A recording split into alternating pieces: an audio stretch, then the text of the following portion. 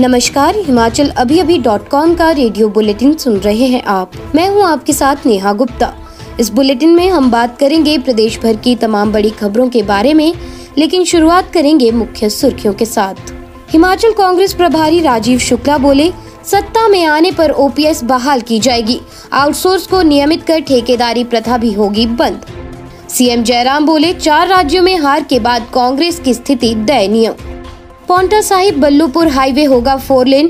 एक हज़ार तिरानवे करोड़ की मिली स्वीकृति। धर्मशाला में बोले सत्येंद्र जैन, हिमाचल में पाँच साल बीजेपी, पाँच साल कांग्रेस के खेल को खत्म करेगी आम आदमी पार्टी। सिरमौर की कोटी धीमान पंचायत के प्रधान, उप प्रधान सस्पेंड। लाखों का सरकारी सीमेंट बेचने की शिकायत के बाद गिरी गाज। National ski and snowboard championship 2 अप्रैल से। लाहौल की स्कीइंग ढलानों पर खेलेंगी बारह टीमें। अभी और सताएगी गर्मी। चार जिलों में अधिकतम तापमान ने तोड़े रिकॉर्ड। मैदानी भागों में लू का अलर्ट। अब समाचार विस्तार से। आपके स्वास्थ्य का प्रहरी श्री बालाजी हॉस्पिटल कांगड़ा हिमाचल। हिमाचल में कांग्रेस ने कर्मचारियों व अन्य वर्गों को लुभाने की घोषणाएँ करनी शुरू कर दी हैं। कांग्रेस ने घोषणा की है कि यदि कांग्रेस सत्ता में आई तो पुरानी पेंशन बहाल की जाएगी। इसके अलावा ठेकेदारी प्रथा को खत्म करके सीधी भर्ती भी की जाएगी और आउटसोर्स पर लगे सभी कर्मियों को नियमित किया जाएगा। हिमाचल कांग्रेस प्रभारी राजीव शुक्ला ने शिमला में कहा कि बीजेपी सरकार ने कर्मचारियों का शोषण किया है। बीजेपी सरकार कर्मचारी विरोधी है और प्रदेश में कांग्रेस सरकार बनने पर ओपीएस बहाल की जाएगी। आउटसोर्स भर्ती को बंद कर सीधी भर्ती की जाएगी और आउटसोर्स पर सभी कर्मचारियों को नियमित भी किया जाएगा। वहीं उन्होंने घोषणा की है कि करुणा मूलक आश्रितों को भी नौकरियाँ दी जाएँगी।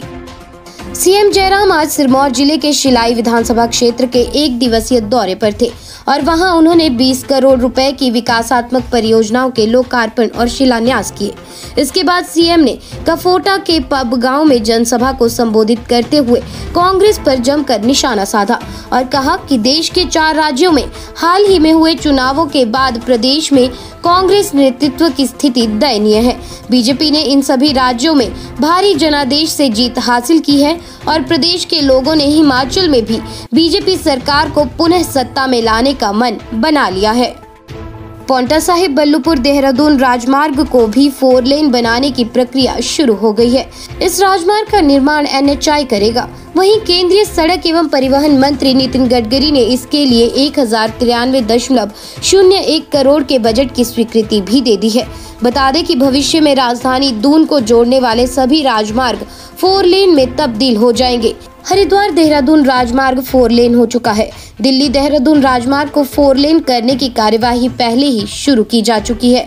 अब बल्लूपुर से शुरू होने वाले पौंटा साहिब राजमार्ग को भी फोर लेन बनाया जा रहा है, जिसके लिए केंद्रीय सड़क एवं परिवहन मंत्रालय ने बजट भी जारी कर दिया है।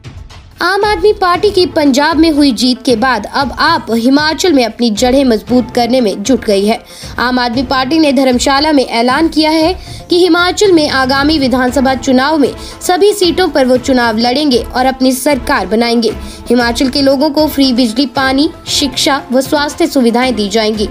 आम आदमी पार्टी के नेता व दिल्ली के स्वास्थ्य मंत्री सत्येंद्र जैन ने धर्मशाला में कहा कि पार्टी ने पंजाब में 117 में से बयानवे सीटें हासिल की हैं और इसी प्रकार अब हिमाचल में भी आगामी चुनाव लड़ा जाएगा और पार्टी जीत भी हासिल करेगी। उन्होंने बताया कि सभी अड़सठ विधानसभा सीटों में संगठन को गठित किया गया है। हिमाचल में शिक्षा और स्वास्थ्य मुख्य मुद्दे रहेंगे। अब की बार आम आदमी को जनता चुनेगी, क्योंकि अब लोग दोनों ही पार्टियों, कांग्रेस और बीजेपी से परेशान हो चुके हैं। शेष समाचार ब्रेक के बाद। आपके स्वास्थ्य का प्रहरी Shri Balaji hospital Kangra Himachal.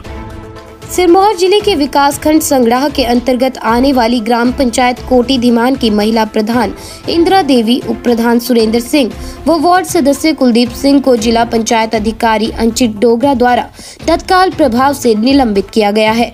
Vigilance committee के अध्यक्ष दलीप आज़ाद, चार वार्ड सदस्यों व कांग्रेस मंडल महासचिव सहित तीन पूर्व पंचायत प्रधानों सहित कुल बयालीस लोगों द्वारा प्रधान के खिलाफ सरकारी सीमेंट के करीब सात सौ सतानवे बैग बेचे जाने, पति द्वारा पंचायत के काम में हस्तक्षेप व सरकारी धन के दुरुपयोग जैसे आरोप लगाते हुए इसकी शिकायतें संबंधित अधिकारियों से की गई थी।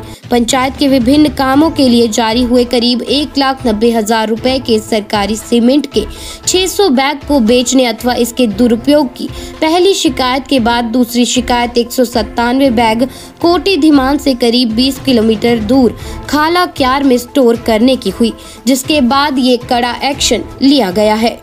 हिमाचल में लाहौल की स्कीइंग ढलानों में पहली बार देश भर के स्कीयर अपनी प्रतिभा के जौहर दिखाएँगे।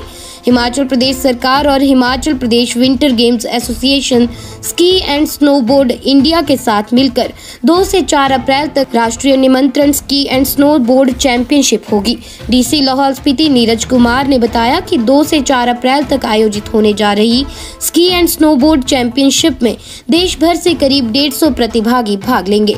शीत मरुस्थल लाहौल घाटी में पहली बार स्कीइंग एंड स्नोबोर्ड की नेशनल आमंत्रण चैंपियनशिप आयोजित हो रही है। प्रशासन ने Himachal Pradesh winter games association के साथ मिलकर स्की एंड स्नोबोर्ड इंडिया के सहयोग से सभी तैयारियाँ पूरी कर ली हैं। हिमाचल प्रदेश में भीषण गर्मी से फ़िलहाल राहत मिलने के आसार कम हैं। मौसम विज्ञान केंद्र शिमला की ओर से जारी बुलेटिन के अनुसार प्रदेश में आगामी चार दिनों तक मौसम साफ़ रहने की संभावना है। ऐसे में इस दौरान पारा और चढ़ने की संभावना है। प्रदेश के मैदानी जिलों में एक अप्रैल को भी लू चलने का अलर्ट जारी किया गया है। गुरुवार को भी पूरे प्रदेश में मौसम साफ़ रहा। मैदानी जिलों में लू चलने से दिन के समय लोगों का घर से बाहर निकलना मुश्किल हो गया है। शिमला, मनाली व अन्य हिल स्टेशनों में पसीने छूटने लगे हैं। रेडियो बुलेटिन में आज के लिए बस इतना ही। नमस्कार।